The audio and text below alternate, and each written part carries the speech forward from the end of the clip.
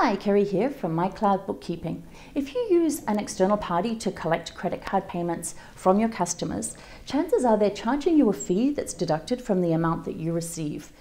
I have a separate video that shows you how to record these so you can match the transactions from the bank feed, but what I want to show you today is how to set that up as a product or a service, an item, so that you can deduct it from your invoice or your sales receipt, should you choose to.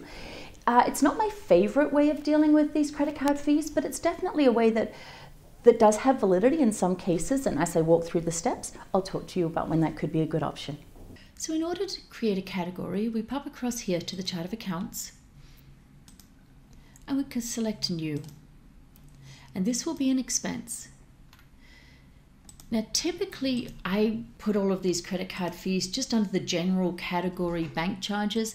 Uh, you could even make it a sub account of the bank charges category if you want. But if you'd prefer to have it under selling expenses or something else, that works too. And I'm going to call it credit card fees and save this category. So now, anytime that I want to use credit card fees as a category for an expense, it sits here. If you're deducting the credit card fees from your invoice or sales receipt, then it's necessary to set them up as a product or service so that you have the item available in those documents. So to do that, we pop across to sales and we choose products and services. Now here, we're going to be creating a new service. It's clearly not a product. We'll call it credit card fees. And then we scroll down to here where it says income account. And we're going to use credit card fees. Now, this clearly is not an income account. You can see it's an expense account, but typically when we're setting up products or services, it's for something that we sell. And if we're selling it, then the any money we get for it is considered income. Now, I don't think we're going to get a warning here when we save this, but sometimes you'll get a warning that will say this is not an income account and you can ignore it. So I'm just going to go ahead and save this. Oh, no warning, so that was totally fine.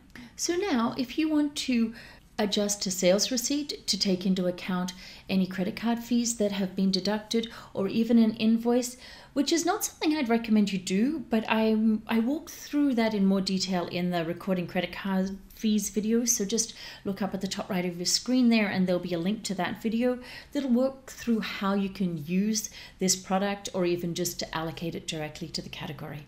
But now you've got your item set up and you can use it moving forward. So now that you've got this set up, go check out the other video, work out how you can record them. Um, link should be here or there, and it will show you how to go about recording the fees when they do appear on that bank feed or when the reduced amount comes through.